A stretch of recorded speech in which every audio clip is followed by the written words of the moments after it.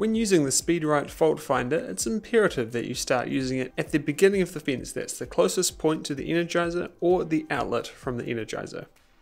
If your fault finder shows 0 amps or no current flow, then your fence is in tip-top condition. If you have a multiple wire electric fence, it's important that you measure each wire individually to account for all of the current flow on your fence line. At that point the fault finder will look at your whole fence system and let you know whether you have any shorts and if you do, just how bad they are.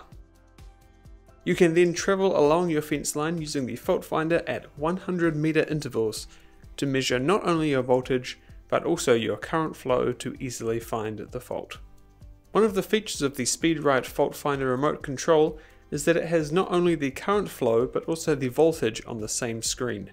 So it's possible to see at a glance the condition of your fence and also your fence voltage. Also with the SpeedRite fault finder, there are no earth leads required. Simply place your hand across the foil on the back, that earths the fault finder and gives you a more accurate reading.